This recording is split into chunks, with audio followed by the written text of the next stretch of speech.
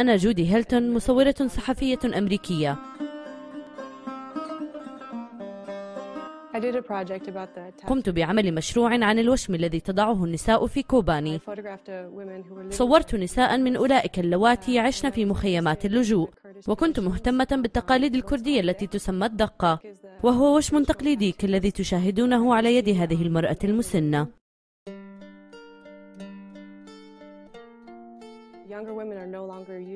الشابات لم يعدن يضعن الوشم.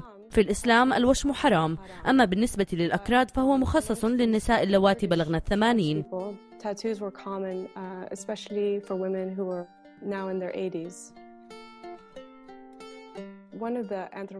أحد الذين تحدثت إليهم خلال مشروعي ممن أجروا دراسات حول الوشم.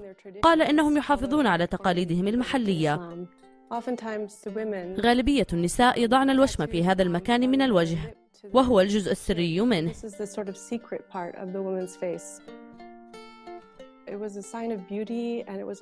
الأمر بمثابة. علامة للجمال وكذلك لتحديد الهوية.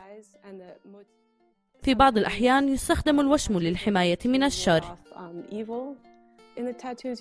في الوشم ترى أشكالا مختلفة كالنجوم والدوائر.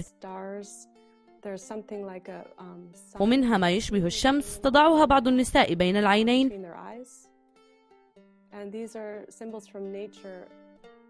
وبعض اللشوم يشبه حيوان الغزال توضع لأغراض تجميلية. um,